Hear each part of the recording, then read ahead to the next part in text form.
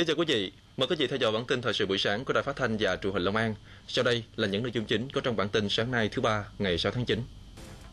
Huyện Cần Duộc đẩy nhanh tiến độ thi công các công trình xây dựng cơ bản.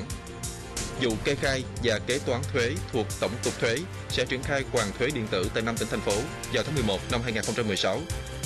Tin thế giới, Hội nghị hòa bình liên bang Myanmar điểm khởi đầu của một hành trình mới. Thành ủy thành phố Tân An tổ chức hội nghị học tập quán triệt nghị quyết Đại hội đại biểu toàn quốc lần thứ 12 của Đảng cho trên 200 đảng viên và công đoàn viên đang công tác trên địa bàn thành phố Tân An. Tại hội nghị, các đồng chí đã được quán triệt các nội dung cơ bản của nghị quyết đại hội 12 của Đảng, gồm những nội dung cơ bản của báo cáo chính trị tại đại hội 12 của Đảng, đánh giá kết quả thực hiện nhiệm vụ phát triển kinh tế xã hội 5 năm 2011-2015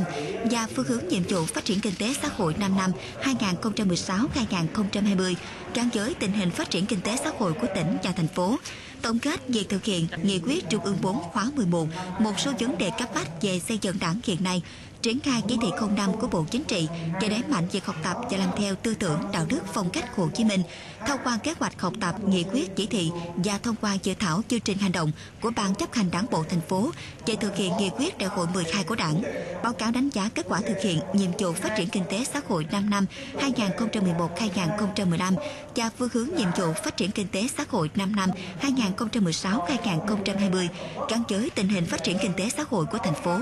Việc học tập quán triệt nghị quyết đã được sinh hoạt chính trị sâu rộng, có tầm quan trọng đặc biệt nhằm tạo sự chuyển biến về nhận thức, thống nhất ý chí và hành động trong toàn đảng, toàn dân, toàn quân, mà trước hết là đội ngũ cán bộ viên chức, công chức, đảng viên từ thành phố đến xã phường. Quỹ ban nhân dân thị xã Kiến Tường tổ chức hội nghị tổng kết 20 năm thực hiện pháp lệnh về lực lượng dự bị động viên giai đoạn 1996-2016. Trong 20 năm thực hiện pháp lệnh dự bị động viên, các quỹ chính quyền địa phương, cơ quan quân sự từ thị xã đến cơ sở đã quán triệt triển khai thực hiện nghiêm túc pháp lệnh dự bị động viên. Đến nay, toàn thị xã đã sắp xếp biên chế dự bị động viên cho 100% quân số, phương tiện kỹ thuật sắp xếp đạt chỉ tiêu trên giao. Tổng số nguồn dự bị động viên toàn thị xã là 642 người, tỷ lệ đảng viên đạt 10,12%, đoàn viên đạt 48,51%. Hàng năm thị xã đã thực hiện tốt việc động viên, kiểm tra sẵn sàng chiến đấu, huấn luyện các đơn vị dự bị động viên, quân số quy động huấn luyện trong 3 năm qua đạt 98%, thực hiện hiệu quả chỉ tiêu động viên, huấn luyện, diễn tập, hội thi, hội thao và hoạt động chiến đấu trị an của lực lượng dự bị động viên, tình trạng sức khỏe quân dân trong biên chế đảm bảo đủ điều kiện quy động làm nhiệm vụ sẵn sàng chiến đấu. Tại hội nghị, các đại biểu đã phân tích những tồn tại, hạn chế trong quá trình thực hiện pháp lệnh dự bị động viên, qua đó đề xuất kiến nghị các cơ quan có thẩm quyền nghiên cứu bổ sung để công tác quản lý lực lượng dự bị động viên ngày càng đi vào chiều sâu, có hiệu quả, đáp ứng yêu cầu sẵn sàng chiến đấu trong tình hình mới. Qua triển khai thực hiện pháp lệnh về lực lượng dự bị động viên giai đoạn 1996-2016, hàng năm, huyện Tân Hưng quy động lực lượng dự bị động viên đạt từ 98% trở lên, công tác đăng ký quản lý nguồn sĩ quan dự bị đủ về số lượng và chất lượng đạt 100% chỉ tiêu. Về tổ chức xây dựng và quản lý đơn vị dự bị động viên đã xây dựng đủ 4 trên 4 đầu mối, quân số đạt 100%. Về chất lượng đơn vị dự bị động viên, bộ binh đúng chuyên nghiệp quân sự đạt 100%, binh chủng đúng chuyên nghiệp quân sự đạt trên 79%, tổ chức quy động huấn luyện, diễn tập, kiểm tra hàng năm theo chỉ tiêu được giao, quân số đạt từ 98% trở lên. Dịp này, Ủy ban nhân dân huyện Tân Hưng tặng giấy khen cho hai tập thể và năm cá nhân có thành tích tốt trong 20 năm thực hiện pháp lệnh dự bị động viên giai đoạn 1996-2016. Năm 2016, huyện Cần Duộc được bố trí với tổng nguồn vốn trên 170 tỷ đồng để đầu tư xây dựng 108 công trình xây dựng cơ bản, trong đó vốn tỉnh hỗ trợ gần 77 tỷ đồng cho 48 công trình, vốn huyện hơn 90 tỷ đồng cho 60 công trình.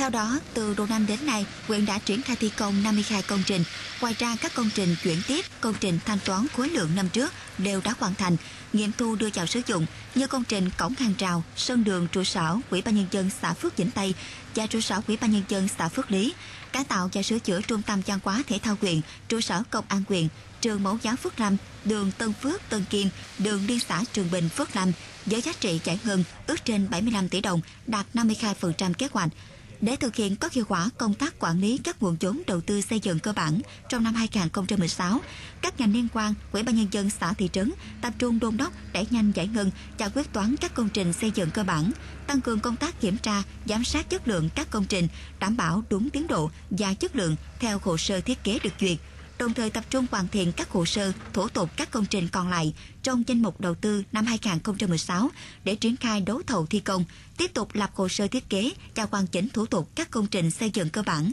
năm 2017. Nhân kỷ niệm 71 năm Ngày Cách mạng tháng 8 và Quốc khánh 2 tháng 9, Thành ủy Tân An đã tổ chức lễ trao tặng huy hiệu 55, 50 và 40 tuổi đảng cho các đảng viên có nhiều đóng góp tiêu biểu trong dịp Quốc khánh 2 tháng 9 năm nay, thành phố Tân An có 45 đảng viên được nhận quy hiệu đảng, trong đó phường 6 có 9 đảng viên được nhận quy hiệu 55, 50 và 40 năm tuổi đảng. Đây là những đảng viên có nhiều cống hiến, luôn hoàn thành tốt nhiệm vụ được giao, không ngừng học tập, rèn luyện, nâng cao năng lực, góp phần giáo dục cho thế hệ trẻ, nối tiếp truyền thống cách mạng của Đảng và Bác Hồ kính yêu. Đợt này, thành phố Tân An có 45 đảng viên được nhận quy hiệu từ 30 đến 55 tuổi đảng. Quyền quỹ Tân Hưng cũng tổ chức lễ trao tặng quy hiệu 30 năm, 40 năm và 50 năm tuổi đảng cho năm đảng viên, trong đó ba đảng viên được trao tặng quy hiệu 30 năm tuổi đảng lần này, gồm đảng viên Lê Thanh Tùng hiện đang sinh hoạt tại chi bộ Hội cựu chiến binh Liên đoàn Lao động thuộc đảng bộ khối dựng, đảng viên Nguyễn Văn Lậm và đảng viên Nguyễn Phú Sơn đang sinh hoạt tại chi bộ khu phố Gò Thuyền A thuộc đảng bộ thị trấn Tân Hưng. Quy hiệu 40 năm tuổi đảng được trao cho đảng viên Trần Văn Kính, hiện đang sinh hoạt tại chi bộ ấp 2, đảng bộ xã Chỉnh Châu B.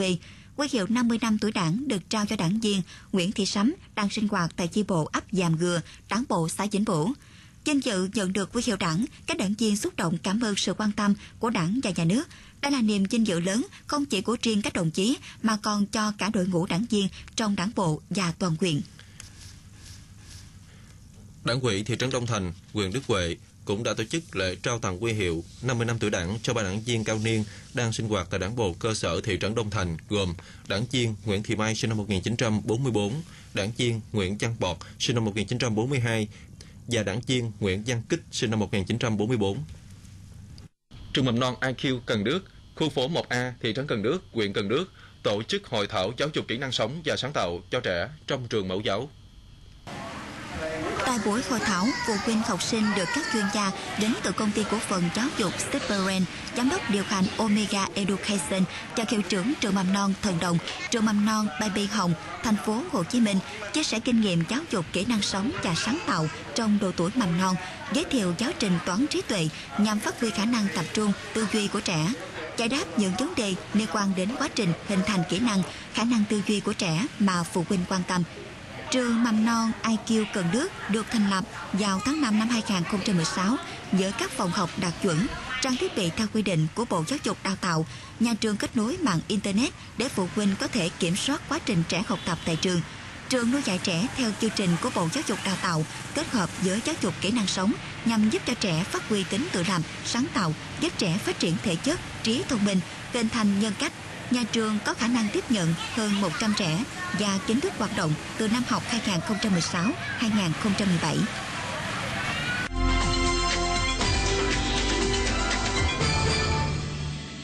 Thủ tướng Chính phủ đồng ý dừng chủ trương chuyển mục đích sử dụng rừng và đất rừng tại trường quốc gia Chardon để xây dựng nhà máy thủy điện Rangford, tỉnh Đắk Lắk.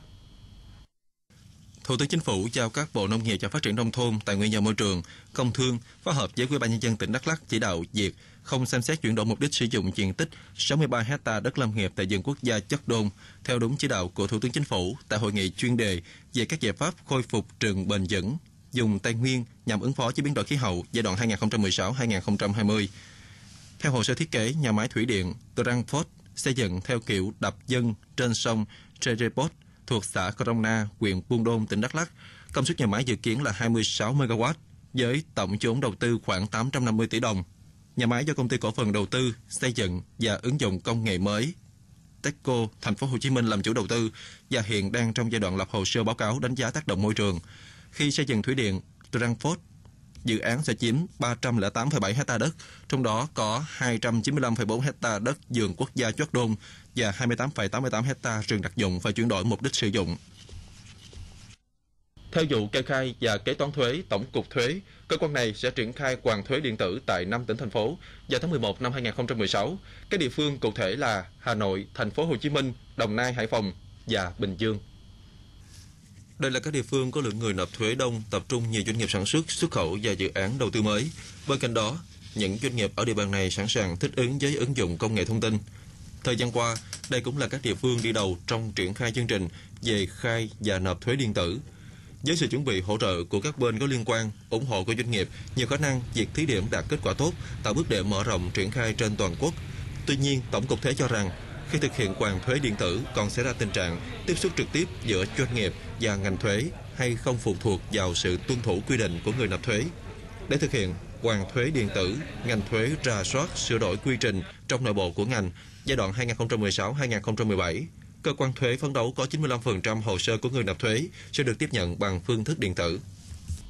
30 năm đổi mới và nhất là sau 20 năm trở thành thành phố trực thuộc Trung ương, Đà Nẵng luôn nỗ lực để trở thành một trong những đô thị lớn nhất của cả nước và là trung tâm kinh tế, chính trị, văn hóa, xã hội tại khu vực miền Trung Tây Nguyên. Đặc biệt, trong quá trình phát triển, Đà Nẵng đã để lại nhiều dấu ấn mà không phải địa phương nào cũng làm được. Xác định mục tiêu phát triển kinh tế bền vững, ngay từ những năm đầu chia tách, Đà Nẵng đã xác định tập trung đẩy mạnh các ngành dịch vụ, du lịch, công nghệ thông tin, công nghiệp công nghệ cao. Cũng nhờ đi đúng hướng mà trong quá trình phát triển kinh tế, Đà Nẵng đạt tốc độ tăng trưởng bình quân đạt trên 10% một năm. Đặc biệt cơ cấu kinh tế của địa phương luôn chuyển mạnh theo hướng tăng tỷ trọng các ngành có giá trị gia tăng cao. Các dự án vào thành phố Đà Nẵng đã được cấp phép trong thời gian vừa qua thì nó đúng cái định hướng về thu hút đầu tư à, của thành phố đó là ngành công nghệ cao, công nghệ thông tin, à, các cái dịch vụ à, chất lượng cao, dịch vụ về du lịch, về về hỗ trợ cho kinh doanh vân vân và, và chúng tôi cũng à, hiện nay thì trong cái công tác à, xúc tiến đầu tư thì chúng tôi cũng à, đang tập trung thu hút theo đúng cái định hướng đó để kinh tế phát triển bền vững, Đà Nẵng đã thực hiện các cơ chế, chính sách linh hoạt, tạo môi trường đầu tư thông thoáng, thuận tiện để thu hút các nguồn lực cho đầu tư phát triển. Xác định doanh nghiệp phát triển thì thành phố mới phát triển. Vì vậy, việc hỗ trợ doanh nghiệp luôn là ưu tiên hàng đầu của chính quyền Đà Nẵng trong những năm gần đây. Doanh nghiệp của thành phố Đà Nẵng được hưởng lợi khá nhiều. Thứ nhất là cái sự quan tâm của lãnh đạo thành phố cũng là thành một cái động lực để cho doanh nghiệp phát triển và song song đó là những cái công việc rất cụ thể như là xúc tiến đầu tư xúc tiến thương mại rồi cải cách hành chính những những cái đó làm cho doanh nghiệp phấn khởi và yên tâm đầu tư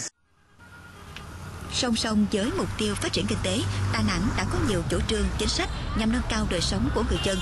trong đó có nhiều chính sách an sinh xã hội mang đậm tính nhân dân mà dường như chỉ riêng địa phương này mới có như chương trình 503 có, 4 an, mô hình không thu phí giữ xe tại các bệnh viện, phụ nữ đơn thân nghèo được cấp chung cư để ở, bệnh nhân nghèo bị ung thư được hỗ trợ kinh phí điều trị, dân dân. Hầu như là tất cả các hộ dân đã được có những cái mức cải thiện rất lớn mà biểu tượng có thể nói rằng là những người nghèo nhất trước đây như khu vực nhà trồ bên bờ Tây, bên bờ Đông của sông Hàn thì đến hôm nay đã được giải tỏa đến những khu định cư mới họ đều cuộc sống và có công ăn việc làm rất tốt và đến nay Đà Nẵng là gần như đã xóa sổ tất cả các khu nhà ổ chuột. Không chỉ có chính sách tốt trong những năm gần đây, Đà Nẵng còn được cả nước biết đến là một thành phố năng động với các chỉ số bc 3 Index, ICT Index liên tục dẫn đầu. Đây là kết quả của cả một quá trình cải cách hành chính nhằm hướng tới mục tiêu phục vụ doanh nghiệp, công dân tốt hơn của bộ máy chính quyền các cấp.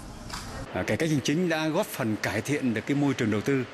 thúc đẩy phát triển kinh tế xã hội, à, nâng cao được cái mức độ hài lòng của người dân đối với chất lượng dịch vụ công trên địa bàn, cải thiện môi trường đầu tư, kích thích à, kinh tế phát triển và đặc biệt là người dân ngày càng tin tưởng và ngày càng hài lòng hơn với lại cái chất lượng dịch vụ công của Đà Nẵng.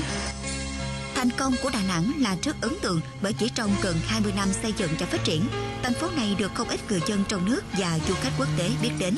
Tin rằng với kết quả đạt được và những nỗ lực không ngừng, Đà Nẵng sẽ tiếp tục bứt phá trở thành trung tâm kinh tế văn hóa xã hội lớn của cả nước.